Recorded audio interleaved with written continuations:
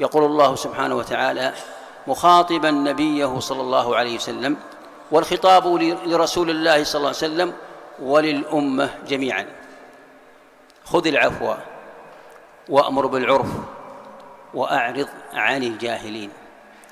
هذه سماها أهل التفسير هذه سماها أهل التفسير أم الأخلاق وأصول الأخلاق جميع الأخلاق والقرآن كله أخلاق. وكان صلى الله عليه وسلم خلقه القرآن. القرآن كله أخلاق لكن هذه الآية هي أصول الأخلاق. جميع الأخلاق بفروعها ترجع إلى هذه الآية.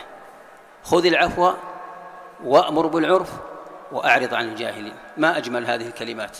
ثلاث كلمات لكن معانيها بعيدة جدا تحتاج منا إلى تأمل. هذه الآية تجعلك كيف تتعامل مع القريب والبعيد.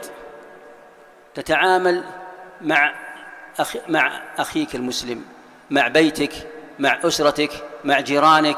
كيف تتعامل في البيع والشراء؟ كيف تتعامل في كل وجوه المعاملات؟